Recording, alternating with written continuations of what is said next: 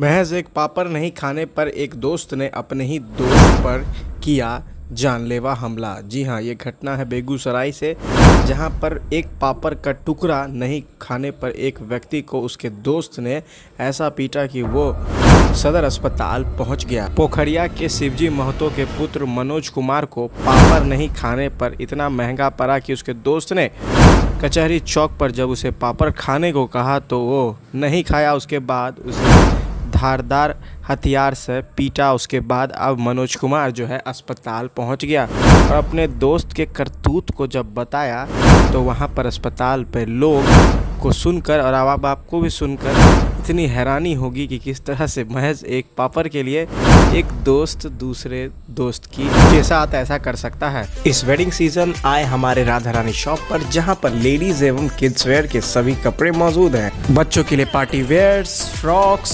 western dress baby suit Indo western wears एवं महिलाओं के लिए salwar suit, sari crop top sharara ground kurti एवं कई रेंज के कपड़े हमारे राधाने शॉप पर मौजूद हैं। हमारा पता है अवध मार्केट अग्रसेन मार्ग मेन रोड बेगूसराय। मतलब मतलब कौन काम करा कहल को तोरा?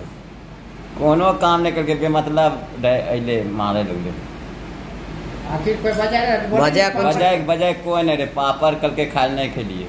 उसी लिए मारल को हाँ। कौन चीज़ मारलो चदरा से माल के ओकरा रोके खातिर ना।